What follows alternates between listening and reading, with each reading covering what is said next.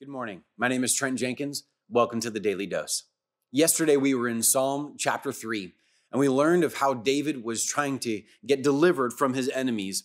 Let's take a quick look. It says, But you are a shield around me, O Lord. You bestow glory on me and lift up my head. To the Lord I cry aloud, and he answers me from his holy hill. Well, where is he at and what's going on? We look back at 2 Samuel chapter 15 Verse 30. But David continued up the Mount of Olives, weeping as he went. His head was covered, and he was barefoot. All the people with him covered their heads too, and were weeping as they went up.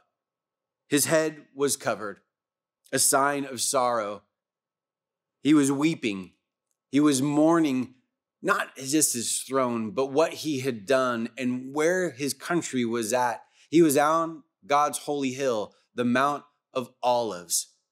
Yesterday, we talked about how our sin, that shame, leads to our voice being silenced, into leading a life of seclusion, and then ultimately running scared.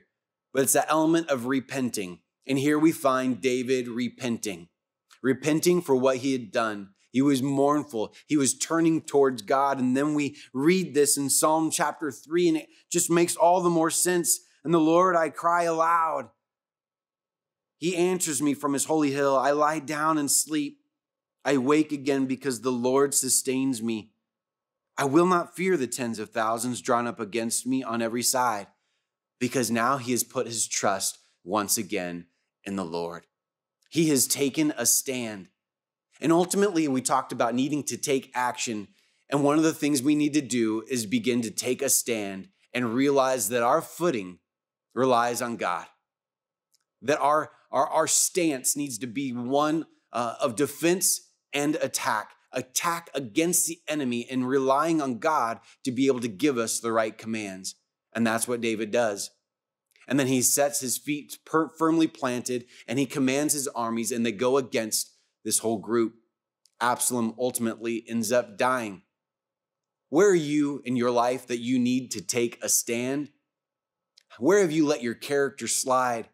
Where have you let your leadership in your home or in your business or with your friends begin to slide? The first thing we need to do is to begin to repent. And repenting isn't necessarily always this matter of just uh, wailing before God. It might be a need for you in your life, but it's a recognition of whose we are and who we need to listen to. We say, God, ultimately, I'm yours, and I want to live my life your way. And then we take that stand, and I look to Ephesians chapter 6 and realize what we need to take a stand against.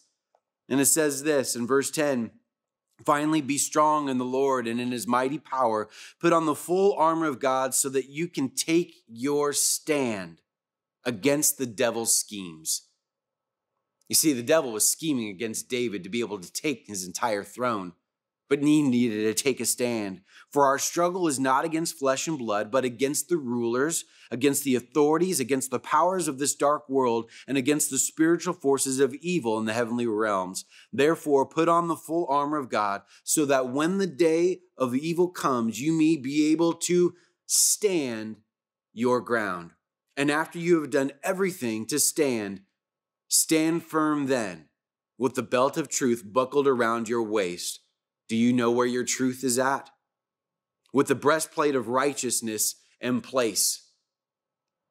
And with your feet fitted with the readiness that comes from the gospel of peace. In addition to all this, take up the shield of faith with which you can extinguish all the flaming arrows of the evil one. Take the helmet of salvation and the sword of the Spirit, which is the word of God, and pray in the Spirit on all occasions with all kinds of prayers and requests. With this in mind, be alert always keeping on praying for all the saints.